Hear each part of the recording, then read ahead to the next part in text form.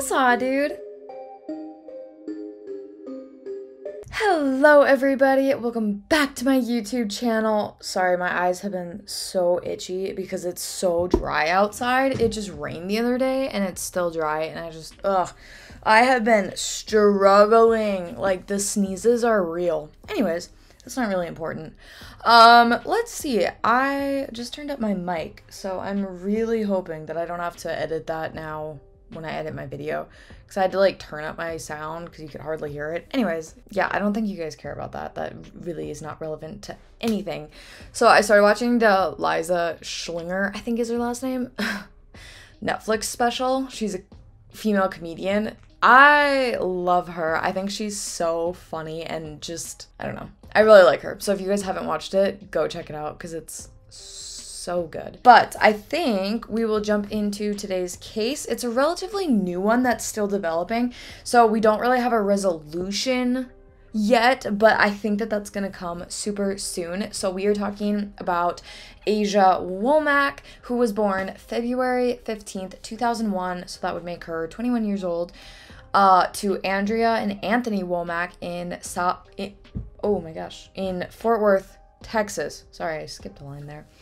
She went to James Madison High School in Dallas, Texas, where she graduated in 2019, and then she moved on to Texas A&M Commerce in Commerce, Texas, and was studying kinesiology. I had to look it up because I had no idea what that was, but it is the study of the body's movement, which makes sense because kin is kind of like is not like kinetic energy, and kinetic energy is movement. I think. I don't know. I barely graduated.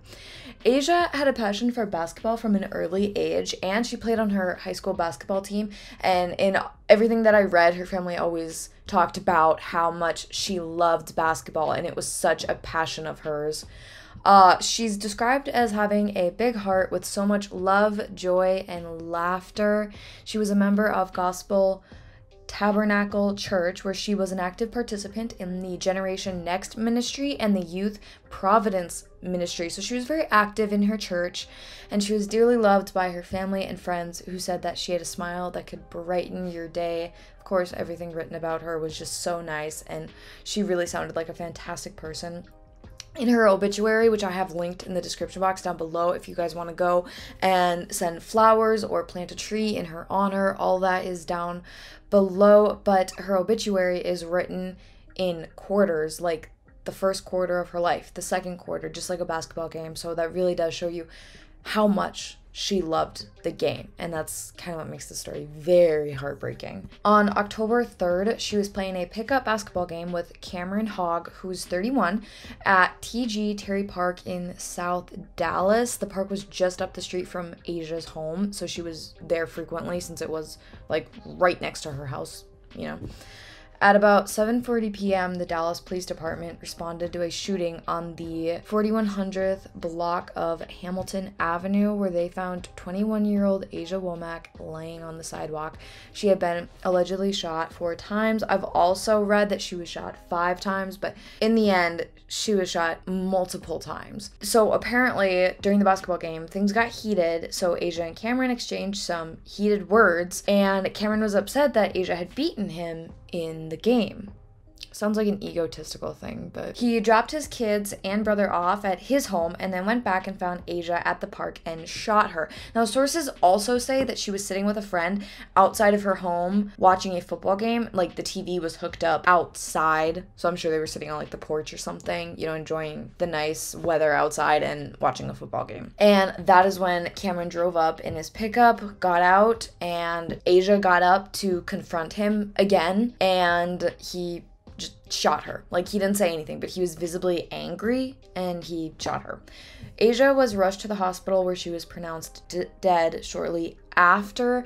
So I guess Asia and this Cameron were friends. Like they would go out to eat together, they would hang out. Her family knew exactly who he was. They talked about them, the two being friends. So that is so incredibly sad that her friend shot her, presumably over a basketball game that she won. But it's like, that's not a big deal. You know what I mean? Like, she played in high school, she loved the game so much, so obviously she was good at it if she was playing that often and practicing. I mean, I. I don't know. So, police issued a warrant for Cameron's arrest on October 11th, and he was found and arrested on October 20th and charged charged with her murder. And I guess her. So, if it's true that Asia and her friend were sitting outside of Asia's house, the friend is the one that picked Cameron out of a photo lineup saying that he was the one that did it because she witnessed it. Um, Cameron has a bond set at one million seven hundred fifty-one thousand dollars, which I don't think is a bad thing. I think he should stay in jail. I didn't read anything about a court date being set, but since he was just arrested, let's see, I don't even know what today is. Oh, so he was arrested six days ago. I thought this case was incredibly sad and there's not a ton of reporting on it as of yet so i just wanted to tell you guys what i found about it. This is pretty much it. Like i said it was kind of differing about like what happened when asia was shot. I really think that her and her friend were sitting outside where she was then shot and then that's why her friend was able to pick him out of a photo lineup. I think that that's probably pretty accurate as to what actually happened. I had also read that Cameron didn't have a bond, but then an article from a few days after that, I think it was four days after, said that his bond was set at the $1.7 million.